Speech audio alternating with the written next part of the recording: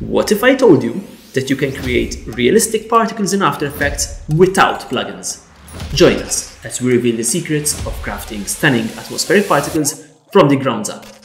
With these advanced techniques, you'll learn how to apply these particles at different depths. We'll be with you until the very end, revealing some secret tips and tricks that will leave you feeling like a particle pro.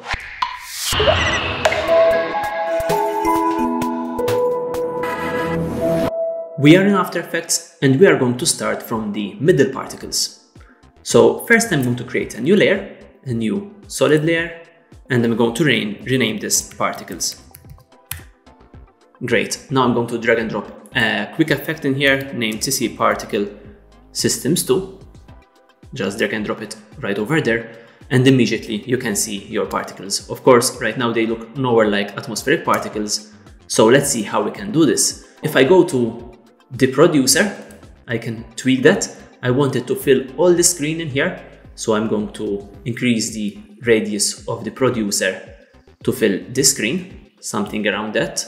Even more, something like for, for instance 300. Great. Then I'm going to increase the Y radius as well to something around that size. And now you can see how it fills all the screen. Now I'm going to reposition it to be at the bottom in here, the emitter, so that's the emitter, and let's play to see how that looks. Great, so we have particles filling all the screen right in here. Of course, right now these look more like sparks, so we need to tweak the particles in here. So go to particle, and from line, I'm going to change those to faded sphere. Now there's more of what we would like, they are quite large right now, so I'm going to decrease their size. So birth size, I'm going to give it something like 0.02 and death size 0.05. Great, and now they kind of disappear. That's because we don't have a lot of particles. So to increase the particle count, we can go to birth rate and increase that to 100. Let's zoom in here to see. And right now, as you can see, they are all over the place. So let's tweak some settings inside the physics category in here. Let's open physics and animation. I'm going to select from explosive, change it to direction. I'm going to decrease the velocity in here since it's quite high. So something like 0.1 would be great. And let's see how this looks. And right now it is moving downwards. That's because of gravity. It is set to one right now. I'm going to set it to the opposite direction and let's make it minus 0.1 so that we have a subtle movement upwards. And that's more like it. Very great. And one thing that I'm noticing is that it is quite moving fast right now so I can increase the resistance. So something like 1.4 maybe or 1.5 that's much better. Great. Now direction it's right now moving up so let's change that to something like 90 degrees. So that would move sideways. Let's make that zero.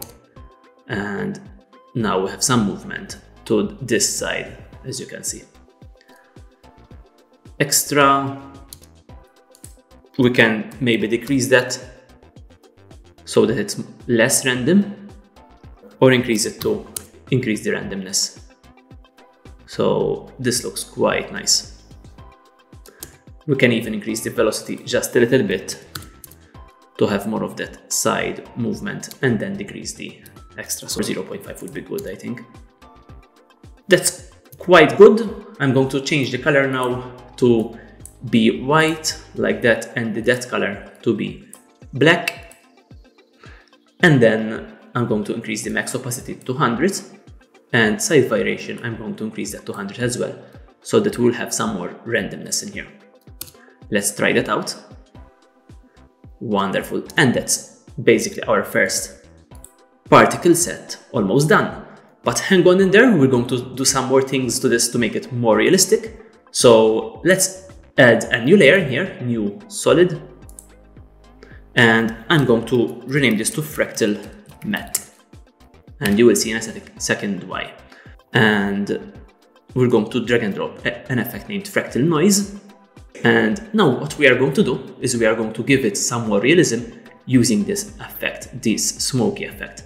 So I'm going to leave this to basic, this I'm going to turn to linear, and I'm going to decrease the contrast in here and increase the complexity. So increase it all the way up to 20. And then for transform, we can increase a little bit the scaling. And right now this is static. So if I play this, no animation takes place. So let's add some animation. First of all, we can offset the turbulence. So if I go to the start in here, click on the stopwatch and go to the end in here of our timeline and move this like that. Now we can see some horizontal movement in here. I wanted this smoke to move within in here as well, so I'm going to tweak the evolution. And I'm going to type in a quick expression in here, very easy. So hold on Alt or Option on your keyboard, click on the stopwatch, and the expressions would open up. And I'm going to type time times 50. Very easy, this will do, multiply the value of the time by 50. And don't forget the semicolon and click outside of that box. Now let's close that and see what happens. Now we can see that subtle movement in here, which will make everything look a little bit more realistic. One final thing, we can go to sub settings in here and go to subscaling and reduce that just a bit. This will increase the detail in our smoke. Great, so what are we going to do with this? We are simply going to use this as an alpha matte, as a luma matte actually. So we're going to go to particles, go to track matte and change this to fractal matte in here. It is this one over here. Click on this box from alpha matte and change it to luma matte, just like that. And now basically the particles are showing only in the white parts of that noise of this fractal matte. So if I show that it's showing in the white parts of this. So if I remove that and see how that looks, now that's much more realistic. One final thing is we can duplicate this, so Command D on your keyboard, and we can show that, just like that. Press T on your keyboard for opacity, and we can reduce this to around 10, so that we can add some of that smoke in our scene as well. And that's our first atmosphere particles done. But hang in there, we are now going to see how we can create the foreground element and the background element to bring it this all together and make it look more realistic. So let's go to project in here and I'm going to duplicate this. So command D on my keyboard. I'm going to rename this to middle and this to, to foreground. So now let's enter into the, the newly created composition. And I'm first going to remove the first layer, the fractal matte, and I'm going to leave this one. So, and I'm going to go to the particles layer, go to effect controls, and we are going to tweak some settings to make them look like foreground particles. Let's go first to the particle look in here, and death size, I'm going to change that to 0.2. Great. So now you can see the particles larger in there, I'm going to change the particle type from faded sphere to lens concave, just like that. Everything disappears in here, but if we click on this little icon here, toggle transparency grid, we can see that they are actually there, but they are completely black. So to lift a little bit that dark color, we can bring in a curves effect from here. So type in curves in here and drag and drop a curves effect on that layer and I can toggle this back off in here and I'm going to, to lift the dark part from here. So from the left part and lift that up just like that. And we can see now the particles. Now the foreground particles of course would be larger, that's why we have increased their size in here. And they, there would be less of them since they would be closer to us. So we're going to decrease the birth rate to around 20 we can increase the birth size to like 0.05 maybe. Great, so now we are going to increase a little bit the velocity of this since foreground particles would move faster since they are closer to us. So let's increase that to 1 and see how that looks. Great, that looks good. And of course we might need to decrease the amount of these further. So something like 5 for instance and I think this looks great. So let's leave it how it like it is and then we can tweak it when we combine it with our footage. So now let's move to the background particles. This is going to be very simple. I'm going to duplicate the middle particles once again, Control D on your keyboard, and let's rename them to background. And if we enter in here, the background particles need to be much smaller and more numerous since we can see them all. So let's go to particles in here. I'm going to leave everything as it is other than this. Go to effect controls and I'm going to go to particle and I'm going to do a 0.01 birth size and maybe 0.02 death size. So now we can barely see them, but we can increase the birth rate quite a bit in here. And if we have a look at this, we can see that we have very nice subtle effect of particles in here that look like a mist. So now let's start combining these with our footage. So let's go to project. I'm going to go to my footage composition here I have this great footage in here and I'm simply going to drag and drop them right over here. So let's start from the middle. And there we go, it fits right away. If you want, you can change it to this to screen, the transfer mode. So let's change that to screen. Perfect. And let's go to the foreground and drag, drop that in as well. And change that to screen. And the background and change it to screen as well.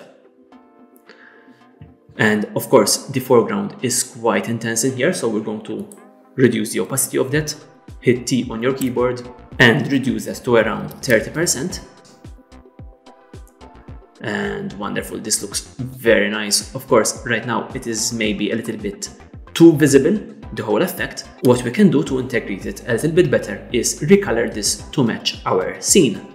To do that, I'm going to go to my particles in here and let's go to the effects and presets, bring in a tint effect in here and drag and drop it right over there. And for map white, I'm going to select a color from the screen right over here. And let's make it a little bit brighter, just like that. Perfect, now I'm going to copy this and paste it over the other two footage layers. Now what you can do is vary a little bit the color in here to make it more dynamic. So maybe this one we can give it like this yellow yellow color in here, make it a little bit, a little bit more orange, great. And this one, let's make it red, but a little bit more vibrant like that. Great. So let's see how that looks. We can also combine these atmospheric particles with volumetric lights to create something very very interesting and you can see a video explaining just that in a link in the video description below. Congratulations, you did it! You've learned how to create stunning particles in After Effects all by yourself. But why stop there? Subscribe to our channel for more tips and tricks like this one. We're all about making videos that you want to see. Tell us what you want to learn in the comment section below. If you have enjoyed this video, please give it a thumbs up and share it with your friends. And thank you very much for watching and get ready for more After Effects secrets in our next video.